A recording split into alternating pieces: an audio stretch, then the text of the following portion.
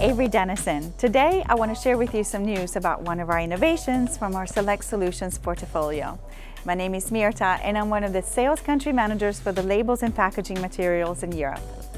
I'm here in the customer center and we just finished a special event.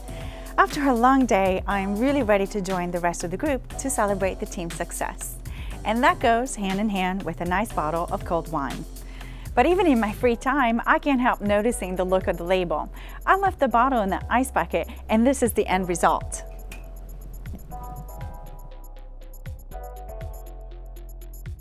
This is actually a common problem of uncoated papers. The moisture makes them lose up to 50% of the opacity, turning them gray.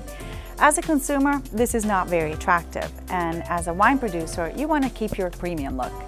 Well, you're in the right place because Avery Dennison has a solution. We can provide you with AquaOpaque technology, a unique product that protects uncoated papers from turning gray. This is actually how the label looks even after two hours in the ice bucket. You can clearly see the difference.